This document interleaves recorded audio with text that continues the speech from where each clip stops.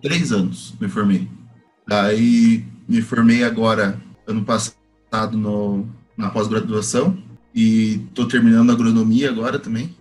E tô trabalhando dois anos só na parte de, de gel.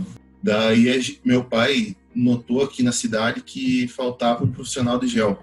Tinha nas cidades vizinhas, mas não tinha aqui na cidade. E minha cidade aqui, 80%, minha cidade, não só minha cidade, mas toda essa região aqui do Paraná, 80% é formada por pequenos produtores, assim, sabe? Agricultura familiar. Tava faltando esse nicho de serviço aqui na, na nossa cidade. Daí, quando me formei, ele falou para fazer gel, e daí eu fui fazer o gel. Daí me interessei e agora tô dando continuidade nisso. Isso. Esses três laudos que eu tô fazendo de uso capião aqui é pessoas que tinham problema.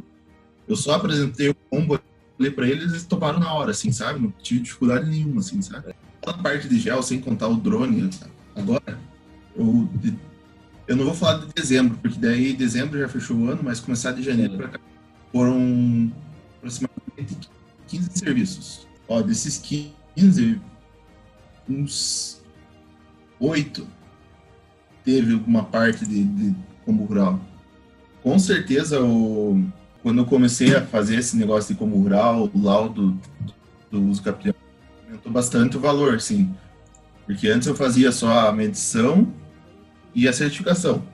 Eu tô, tô ganhando mais, assim, quando fecho com combo rural. A última cliente que me contratou, eu consegui jogar um valor bem bom, assim, para ela, assim, sabe? Tipo, bom que eu digo para mim, assim, sabe? Eu consegui elevar o valor da média que era.